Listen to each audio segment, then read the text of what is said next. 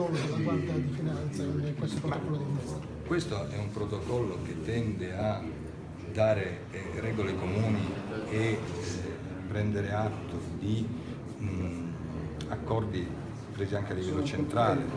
tra la Guardia di Finanza e l'Agenzia delle Entrate. Il ruolo della Guardia di Finanza non cambia, nel senso che la Guardia di Finanza è un corpo di polizia economico-finanziaria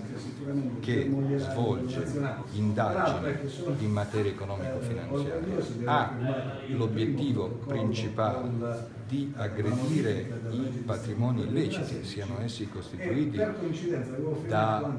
somme oggetto di evasione fiscale o di eh, delitti di tipo eh, riconducibile alla criminalità organizzata, di tipo mafioso o criminalità organizzata per così dire comune. Ha lo scopo di depauperare il patrimonio illecito di coloro che svolgono attività di usura, di coloro che frodano eh, l'Unione Europea e lo Stato nel incassare indebitamente contributi pubblici nazionali, europei.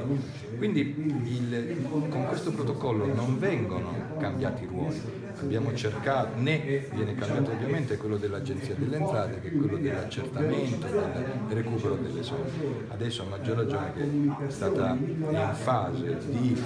liquidazione Equitalia e le competenze vengono poi assorbite dalla